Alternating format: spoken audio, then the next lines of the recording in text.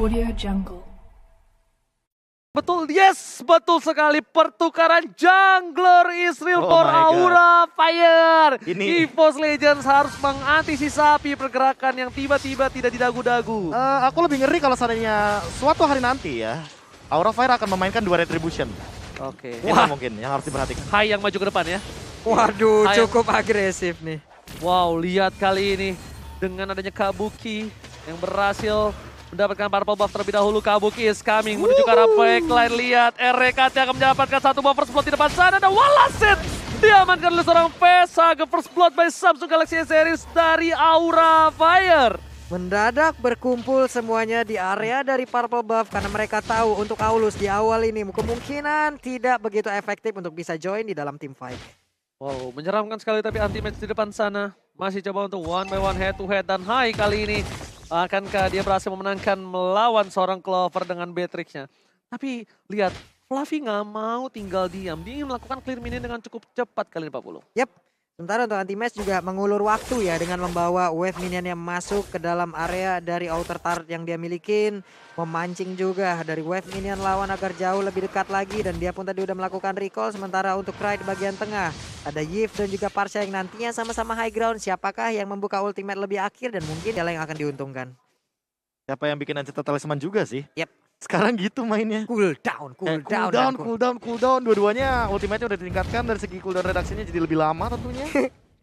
Oke, Uhuh. kebakar pak. Hampir terbakar kali ini. Sedangkan RKT kita lihat dari Fluffy yang udah ngebuka turtle terlebih dahulu. Dan Godiva Oh my god. masih mau lebih. Nggak mau pulang, maunya digoyang. Dan langsung ada satu buah Feather Ray Clover. Mencoba untuk menggocek, tapi dia bisa terlalu sakit dan tergigit oleh seorang Kupa. One last hit. Bakal coba didapatkan Godiva Israel. Tergocek!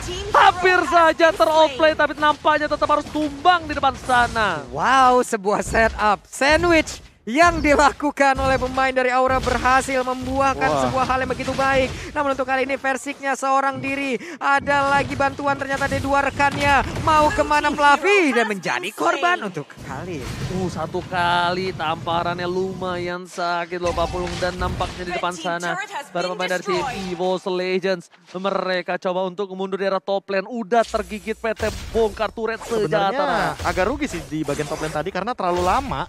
Lagi-lagi karena tumbang duluan ya. Karena Popol tanpa kupa tentunya seperti apa Ranger Mas? Seperti kamu tanpa aku. Masih bisa gerak tapi ternyata di depan sana Purify berhasil menyelamatkan hari ini seorang RKT tapi Kabuki yang tinggal diam langsung tercutthroat. Langsung kabur dari dunia termanipulasi. Kabuki nampaknya tetap fokus dalam tujuannya. Dia nggak mau termanipulasi tapi hai. Gak peduli apa pun yang terjadi. Serahkan begitu saja. Masih diselamatkan. Kupa kiu. Pulang ke arah belakang. Kali ini nggak mau terlalu terburu-buru. Coba lihat di saat tadi ada Hai yang dilempar, Godiva langsung maju pak. Sadadanya Kufra langsung masang badan dengan boncing yang dia milikin. Godiva. あ Masih mencoba untuk nge-mirror yang dilakukan sama Versik sih dia tempelin banget di sini. Agar apa?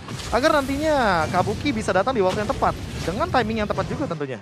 Waduh, waduh, waduh. Dia lewat waduh. gang sempit kayak gitu dong. Wah, wah, wah, ini beda level. Harusnya menang atribut juga. Kabuki yang mencoba untuk bisa mendapatkan karena satu player dari EVOS Legend. Namun dilompatin. Tyrant Race-nya juga connect. Ada lagi di bagian belakang dengan Federasi yang dikeluarkan. RKT-nya masih bisa selamat. Langsung diseset begitu aja. Namun Kran kayaknya akan menjadi korban tambahan kah? Tidak. Karena Kran-nya masih bisa lari. Tapi di tempat yang berbeda. Ada pergerakan dari Hai yang dihentikan. Wow, wow, wow. Menyeramkan sekali permainan kali ini. Benar-benar bermain dengan cukup agresif dari tim Aura Fire. Dengan EVOS Legends. Mereka ingin benar-benar bermain dengan cukup santai. Dan fun fact kali ini dari debutnya MP di MPL Season 7. Ini pertama kalinya Kabuki mengisi role jungler Pak Pulung. Jungler. Ya, Jungler. Jungler. Jungler ya, jadi beda Pak antar Pak ya. Oke. Kabuki level 7 berjalan kaki menghemat Heptasis. energi mencari terlebih dahulu siapakah yang akan menjadi korban heptasis. Tangannya Wow. merah tadi. Oke. Itu tanda heptasis dia. Yap. Aktif dari efek ambushnya. Jadi Ya. dia akan lebih mengerikan lagi kalau seandainya dia bakal nargetin langsung ke belakang eh, dari bagian backliner teman-teman Event Legends. Waduh, waduh, waduh, waduh, Kabukinya mulai ngamuk. Akankah Wow. untuk Katronnya dikeluarkan untuk kali ini? Tapi Kabuki masih bisa lari. Wow, tapi di depan sana langsung ada Federasi dikeluarkan berhasil mendapatkan Persik terciduk. berhasil ditumbangkan. World Manipulation dikeluarkan oleh seorang Kret untuk menyelamatkan satu buah turret dan nampaknya dari Aura Fire nggak mau maju lebih dalam lagi, nggak mau terlalu terburu-buru. Ini ketinggalan level lagi dari Versiknya ya. Versik level 7, Kabuki level 8, bahkan Versik bersama dengan XP Laner dan juga Golden Mikilale Aura itu sama loh.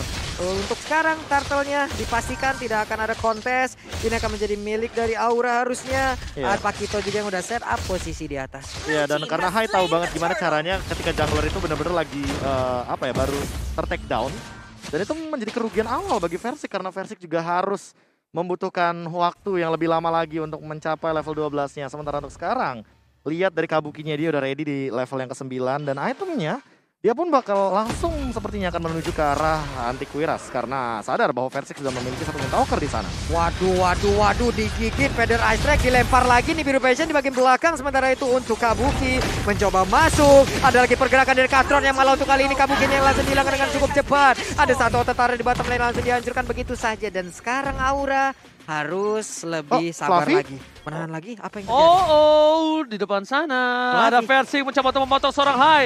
Tapi lihat Retribution dikeluarkan memilih untuk mundur Kenceng ke banget. belakang ngabur, kabur, kabur dan Fluffy mencoba untuk melakukan cutting Itu. minion di arah tengah, Profesor. Itu pakai Ice Retribution, dia pakai la- skill larinya dan dia punya Windtalker. Jadi makanya ya secepat itulah Aulus Racing. Ice Retribution, Charge dan juga Windtalker. Tambah sepatu lagi. Oke. Lari! Lari! Aulus Racing. Itu dua tak seribu cc.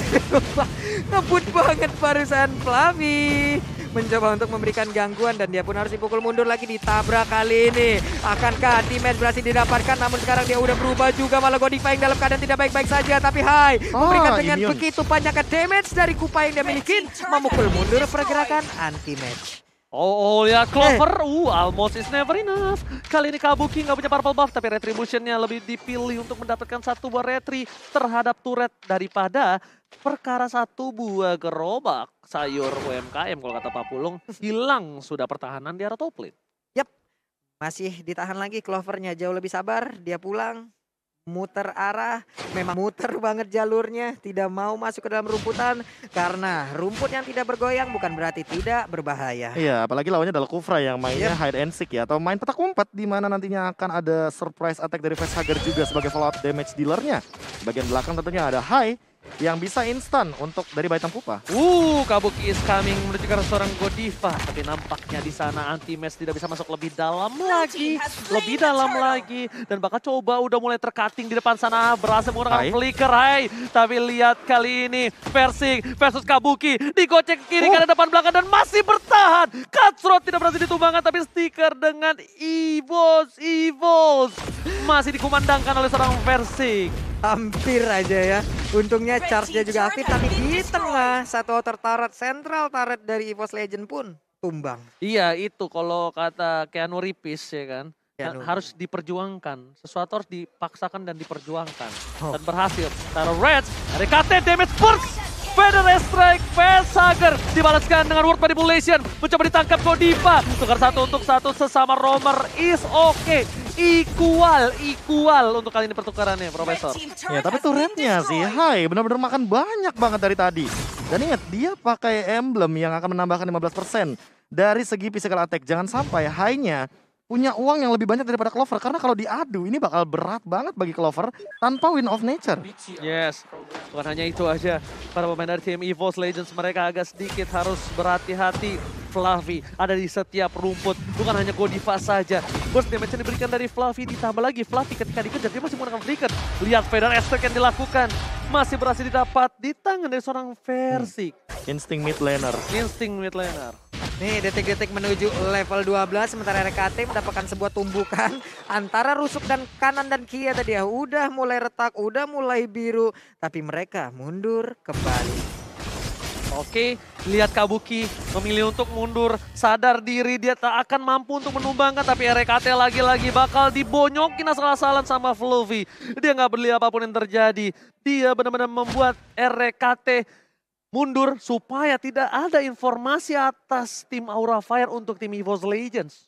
Ya, tapi Yeah. untuk saat ini sih dengan perbedaan gold 4000 ya, aku Yap. tidak terlalu melihat EVOS Legends tuh kalah-kalah banget. Kenapa? Karena Balik lagi, Versiknya dari tadi benar-benar bisa ngehindarin dan udah ada win of nature dari Clover. Jadi apakah ini akan menjadi jawaban? Oke, lihat Versik di depan sana berhasil kabur atas gigitan. Tapi Godiva memilih untuk mundur ke arah belakang. Bahkan dengan turret kedua yang didapatkan EVOS Legends, mereka berusaha sekeras itu.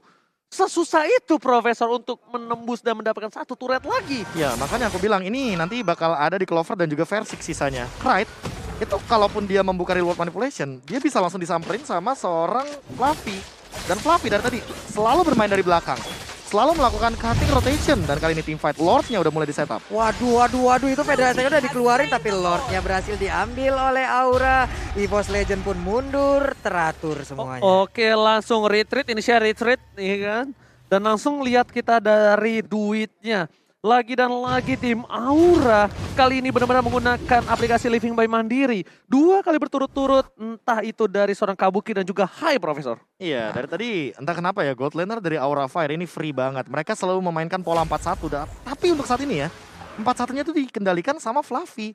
Yang mana Fluffy-nya benar-benar megang banget Wah. dari kendali di satu laning phase yang benar-benar mahal banget kali ini. Tapi ini tidak boleh ada yang ditumbangkan sama sekali si Profesor. Ini bisa Iya, iya, saja iya. Ada salah satu one strike push. Dan bahkan kita bisa bilang dari tim Evo Legends mereka ketinggalan ada 4000. Hai, mencoba untuk menggocek dari depan sana langsung ditumbang. Surprise attack Bapak Ibu sekalian. Mencoba untuk menggocek one by one situation. Dan Cutthroat berhasil mendapatkan seorang passing. Pertukaran tidak cukup adil kali ini dan bahkan membuat para pemain dari tim Aura Fire mereka harus bersikeras di arah bottom lane. Fluffy menjaga seorang diri ini nampaknya masih belum cukup untuk bisa menumbangkan Oh, ini bitter turret yang dimiliki dari Evo Legends. Tapi setidaknya mereka mendapatkan high karena kita tahu dari tadi high adalah turret destroyer loh. Yes. Dia yang menghancurkan seluruh turret yang dimiliki oleh EVOS Legend dan sekarang di saat ada Lord high-nya nggak ada, ya setidaknya ada keuntungan didapatkan. Ini Profesor kalau disuruh pilih satu orang yang untuk bisa mendapatkan dan menang Cafe Sager Profesor dari EVOS Legends mau siapa? Kayaknya anti-match sih. Cuma Oke. anti-match yang bisa mengincar ke arah belakang sana. By the way, kita bakal melihat instant replay by Samsung Galaxy S series. Terlalu beresiko emang Hai melakukan open apa ya open boost aku bilang ya. Dia mau buka pakai trap tadinya. Iya, emang mau buka pakai trap tapi dalam keadaan dia belum melakukan We Are Angry. Jadi ketika dia melakukan absorb damage tidak ada efek knock up airborne gitu loh. Yes, bener banget. Tapi lihat di depan sana tertangkap. Oh my god, Versing. Berhasil ditumbangi tapi lihat Kabuki menggila Gila, di arah belakang. Dan bahkan, oh my god. Dua tiga player EVOS Legends diporak-porandakan. Kabuki mengamuk, Profesor. Kabuki, Kabuki. Diam-diam ternyata dia belajar Fanny di dalam toilet Aura Fire. Oh my god, lihat fokus menuju ke inhibitor turretnya. Mereka coba untuk melakukan penyelesaian game ini. Mereka gak peduli apa pun yang terjadi dan bahkan penyelesaian dikeluarkan hampir wipe out. my Aura Fire membawa game kedua di dalam kemenangan. Terp